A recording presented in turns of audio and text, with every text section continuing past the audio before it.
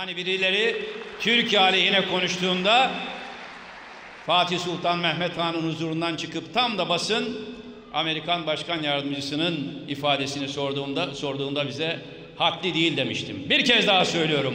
Bu aziz milletin yaptığı fedakarlıkları görmeyerek Türkiye'yi eleştirmek kimsenin hakkı da haddi de değildir. Biz eğer Suriyeli kardeşlerimizin, Iraklı kardeşlerimizin yanında duruyorsak, yanında duruyorsak bu aziz bayramı inşallah bir gün onlar için de yaşanır kılmak içindir. Sayın Cumhurbaşkanımız da tebrik gerekli tepki gösterdi ve biliyorsunuz özür dilendi.